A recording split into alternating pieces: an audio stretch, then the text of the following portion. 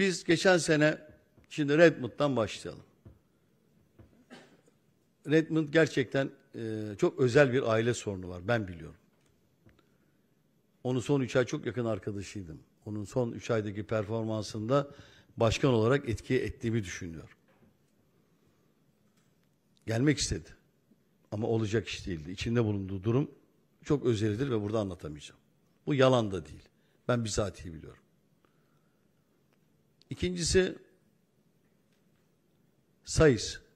Sayıs maalesef Dünya Kupası'nda gittiğinde ve geldiğinden sonraki tavır ve davranışlarıyla maalesef kendisiyle çok konuşmama rağmen kendinde bir güvensizlik hissetmiştir. Biz, ve bizim de kendisine olan güvenimizi hocasının da sarsmıştır. Gitmesi gerekiyordu arkadaşlar. Bazen kolunuzu kesip açacaksınız. Çok da sevseniz o kolunuzu bazen açacaksınız. Kalbiniz atsın diye o kolu keseceksiniz.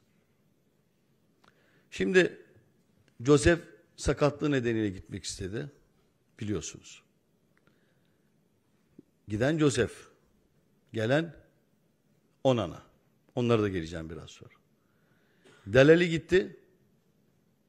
Yerine İngiltere Ligi'nde adı tarihe yazılmış. 65 kere milli olmuş. Liverpool'da oynamış. Chamberlain'i getirdik. Yokmuş gibi davranıyor Beşiktaş camiası. Biz ne yaparsak yapalım yok. Çünkü niyet kötü. Peki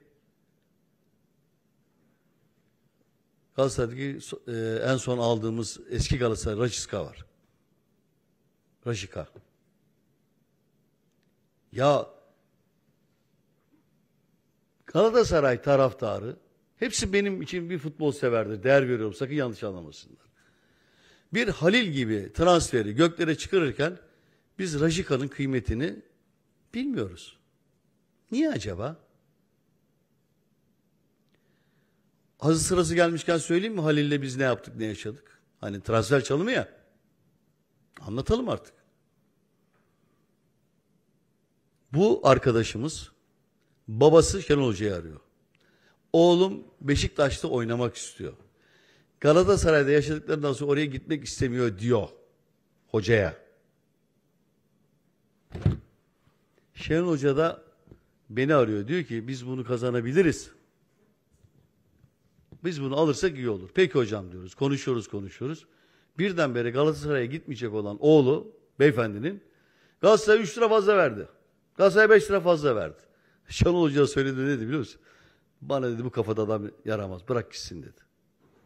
Şimdi bu transfer çalımı mı? Evet değil mi? Çünkü onlar onu öyle satıyorlar. Ama biz Rajika'yı satmayı beceremiyoruz. Niye? Çünkü taraftarın hırsı bana. Bir şey bulacak. Yapmayın arkadaşlar. Ben size söylüyorum. Benle meselenizi benle çözün. Takıma zarar vermeyin.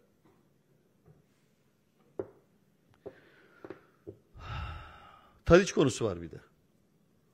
Size çok ilginç bir şey söyleyeyim mi? Tadiç'i biz bir rakamla konuştuk, teklif ettik. Öyle bir teklifle geldi ki verdiğimizin iki buçuk katı. Çok basit hocayla konuştum. Hoca dedi ki asla takımın içinde bu huzuru bozmayalım dedi. Adam yılların hocası. Futbolcu psikolojisini hep bizden daha iyi biliyor. Bu onun buraya zarar vereceğini düşünüyorsa benim için o geçerlidir. Hocanın ve teknik ekibin istemediği hiçbir futbolcuyu almadık arkadaşlar. Bunu net burada söyleyebilirim.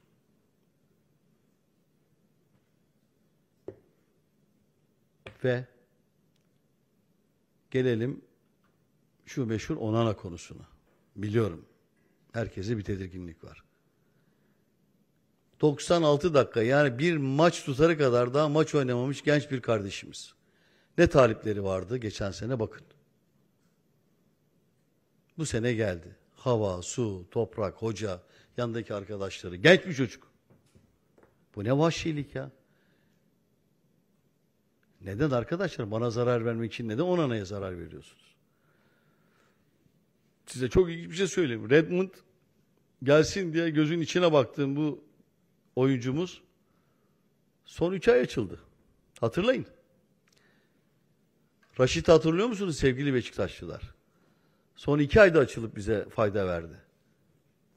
Kimin nerede ne yapacağını bırakın bekleyip görelim. Sevgili arkadaşlar, son gülen iyi güler. Son gülen iyi güler. Dolayısıyla bizim yapmış olduğumuz transferlerde Amatrey milli takım oyuncusu kendine göre fiziği her şeyle düzgün bir, bir oyuncumuz. Tayyip Tağla şanssızlık ya. ya. Geçen senenin yıldızı çocuk sakatlandı. Yani Allah'a ben sığınan bir insanım. İmanlı bir insanım. Bazı şeylerde bir hayır vardır, bir nedeni vardır. Belki belki olması gereken bir şey oluyor. Tabii ki olmasın diye dua ediyoruz. Bunlar hiç kimse konuşmuyor. Tayyip'in uçak parasını başkası verdi, biz aldık. Bu transfer çalımı olmadı. Rajika'ya getirdik. Bu da transfer çalımı olmadı. Arkadaşlar bizim çalımla işimiz yok ya. Biz çalımı sahada atacağız. Beşiktaş bu sene şampiyon olacak. Rahat olun. Sabırlı olun. Hakem gibi bayrağı önceden kaldırmayın. Kural hatası yapmayın. Bekleyin. Bana güvenin. Ben bu kulübü benden sonra benim gelirken yaşadıklarımı bir başkası yaşamasın diyerek mücadele ederek yürütüyorum. Benden sonraki yöneticiden emin olabilirsiniz. Kimseye borcu olmamış bir şekilde bankalar hariç bu kulübü teslim edeceğim. Bu benim görevim arkadaşlar. Kendime yapılandan çok üzülmüştüm. Aynısını bir daha yapmayacağım.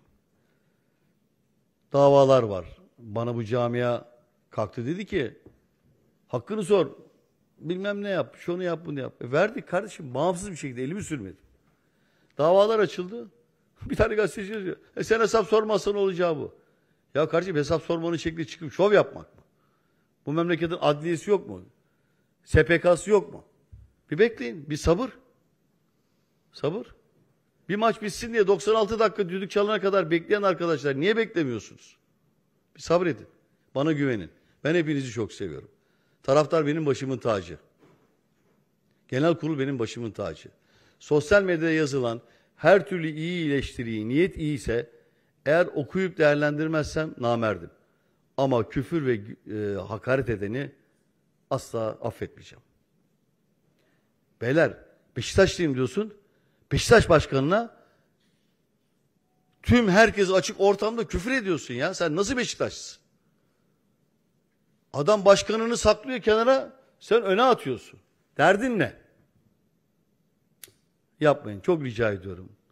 Çok rica ediyorum. Birkaç gün sonra, birkaç hafta sonra çok güzel şeyler duyacaksınız. Daha rahatlayacaksınız. Ama bazı şeyleri sabretmeyin lütfen öğrenin. Camiadan bir şey rica ediyorum. Sabredin, bana güvenin ve takımınıza destek olun. Ve amatör şubelerin nedenli iyi idare edildiğini de, kontrol edildiğini de başarılı olacağını da zamanla göreceksiniz. TFF ile kavgam sonuna kadar devam arkadaşlar. Ama siz bunun ne kadarını göreceksiniz bilmiyorum. Zaten görseniz de onu yok kabul edersiniz. Eğer niyetiniz kötüyse. Teşekkür ederim. Benim söyleyeceklerim bu kadar. Göreve devam. Buradayım, işimin başındayım. Beni görmediğiniz günlerde de ne işler yaptığımı 10-15 gün sonra anlayacaksınız. Rahat olun lütfen. Olur mu? Teşekkür ederim. Sağ ol.